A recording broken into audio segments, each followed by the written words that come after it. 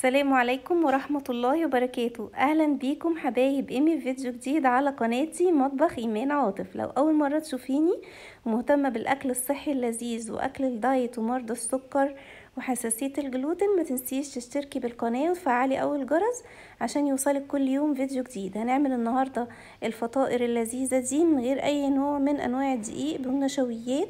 هنعملها بالكوسة فقط. ومكونات سهلة جدا وكلها قيمة غذائية وفايدة عالية. يلا مع بعض نشوف المكونات والمقادير.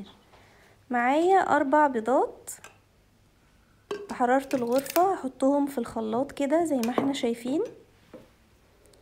ونص كوب من اللبن أو لو متبعة الكيتو استخدمي نص كوب من الكريمة اللباني. معايا كمان أربع حبات من الكوسة. هنضيفهم على المكونات اللي في الخلاط. يعني هنحط الكوسة في الخلاط. طبعا أنا مقشراها وهخرطها بس عشان إيه لما تتحط في الخلاط تتضرب بسهولة يعني. لو عايزة تستخدمي نص المقادير أنا كاتباها كلها في آخر الفيديو. اقسمي كل مكون على اتنين لأن الفطيرة دي ما شاء الله فطيرة كبيرة. فممكن تعملوا نص الكمية بس. ودلوقتي هبتدي أضيف الكوسة اللي قطعتها كده لل... للمكونات اللي في الخلاط عندي. هو بس الخلاط ما كانش مكفي فأنا هاخدهم على مرتين. بس لو خلاط الكبير ممكن تضيفي بقى كل المكونات آه مرة واحدة. ودلوقتي هبتدي أضيف الفلفل الأسود لأني طبعا حاطة آه بيض فعلشان آه أنهي على زفارة البيض فهحط فلفل أسود وهحط كمون وبصل بودرة وقرفة وملح وجنزبيل بودرة. والبصل البودرة بيفرق جدا في الطعم. وهحط كمان معلقة كبيرة من ال baking powder زي ما إحنا شايفين. والقرفة. بعد لما هضرب المكونات في الخلاط هكمل بقى إيه يعني هفضي منه شوية وهكمل الكوسة وهقول لكم هنضيف إيه كمان. عايزة أقول لكم إن الفطيرة دي لذيذة جدا. طعمها رائع وكلها قيمة غذائية وفوائد عالية. دلوقتي بقى هكمل بقية الكوسة في الخلاط وهقول لكم هنضيف إيه كمان. معايا بقى الكشور السيليوم ريد ميل وهقول لكم فوائدها. آخر الفيديو وهي نفعتني جدا إزاي في تعبي. هقولها هقول لكم كل حاجة بالتفصيل في آخر الفيديو. حطيت منها 3 معالق كبار. وملح. بعد ما ضربت المكونات بقى في الخلاط ده القوام بتاعها. هضيف عليهم إيه؟ هضيف عليهم كوباية من بذور الشيا. طبعا فوائد بذور الشيا ملهاش حصر. وطعمها رائع هنا في الوصفة دي. طعمها حقيقي تحفة تحفة ومحلية الطعم جدا. ده غير طبعا زي ما قلت لكم الفوائد والقيمة الغذائية العالية ليها. لو عاوزين تستبدلوا بذور الشيا ببذور كتان مفيش مشكلة. بس بذور الشيا الحقيقة طعمها بيكون أحلى كتير. هناخد منها كوب. طبعا هي متوفرة يعني دلوقتي في كل مكان في السوبر ماركت وفي الع... وعند العطارين بذور الشيا موجودة متوفرة هنسيب بقى الخليط ده يرتاح. آه لما هنسيبه يرتاح حوالي نص ساعة هنلاقيه القوام بتاعه تقل. في الوقت ده أنا عملت شاورمة الفراخ لأن أنا قررت إن أنا أحط عليها فراخ لكن لو عايزين تحطوا بصوا ده قوامها بعد ما سيبناها ترتاح. لو عاوزين تضيفوا لحمة مفرومة أو seafood بقى آه، تونة اللي تحبوه على الوش دي حاجة ترجع لكم حسب الذوق. أنا استخدمت على الحشوة فراخ جبت صينية وفرشتها ورق زبدة ودهنتها زيت زيتون. بس تدهنوا زيت زيتون كويس يعني. وهبتدي إن أنا أضيف العجينة معايا.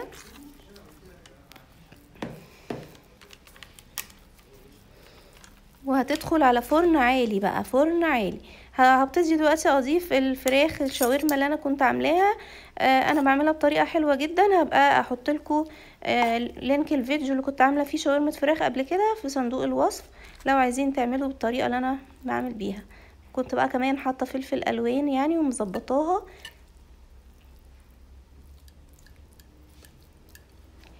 الفرن يكون عالي وهنحطها على الرف اللي في النص. ولما توصل لنص السوا يعني بعد حوالي نص ساعة هفتح الفرن وهحط الجبنة الموتزاريلا. ممكن تضيفوا بدل الجبنة الموتزاريلا جبنة شيدر أو جبنة حلوم أو يعني جبنة رومي أي نوع جبنة تحبوه. لو مش عاوزين جبنة خالص مفيش مشكلة بس هي الجبنة بتحليها.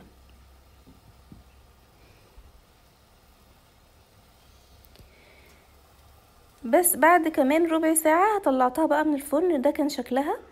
الأفضل إن إحنا نستناها تبرد علشان تتقطع معايا بسهولة لأنها تبقى طرية. يعني لو مش فارق معاكم الشكل ممكن تقطعوها سخنة. لكن أنا أما استنيتها تبرد اتقطعت أهي بكل سهولة. قطع جميلة متساوية طعمها رائع. مناسبة جدا لكل أنواع الدايت وللسكريين. هيتبسطوا منها جدا جدا لأنها ما فيهاش أي نوع من أنواع الدقيق. وخالية تماما من النشويات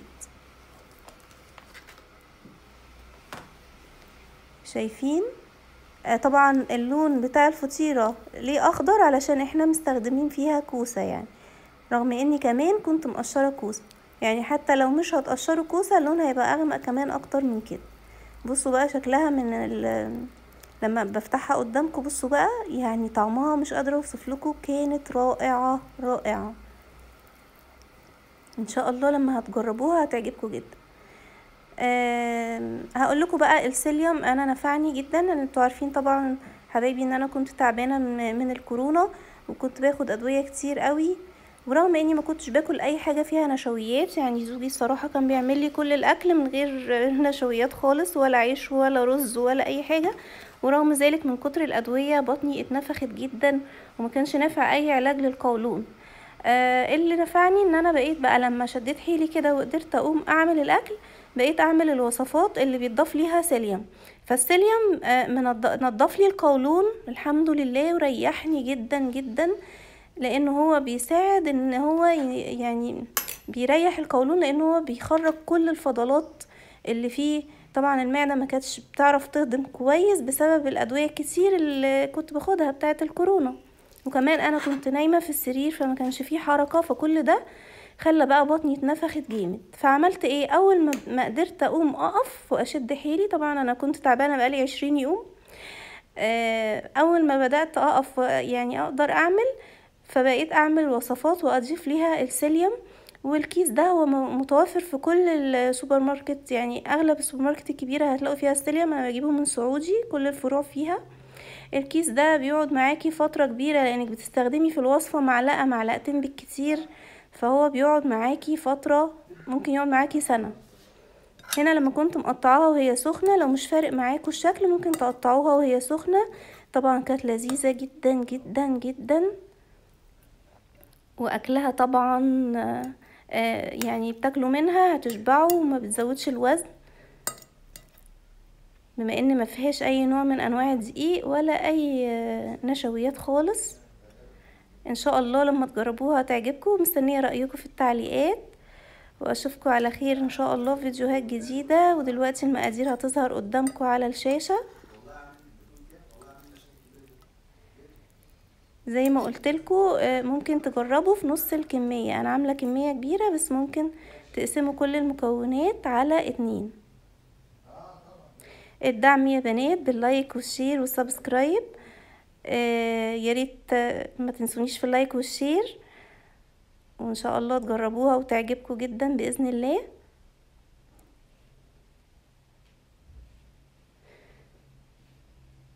دي المقادير أهي قدامكم. أشوفكم على خير إن شاء الله في فيديوهات جديدة قريب.